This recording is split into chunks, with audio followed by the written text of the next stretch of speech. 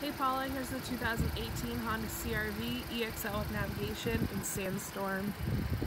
This car comes with a remote start, power liftgate, keyless entry, and also all the Honda sensing features. So you get blind spot detection, forward collision mitigation, braking, lane keep assist, and adaptive cruise control.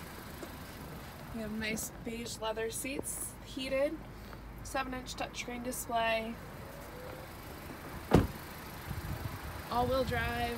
This car has everything. Give me a call if you have any questions or you want to come in and check it out. My name's Carrie, 603-540-1504.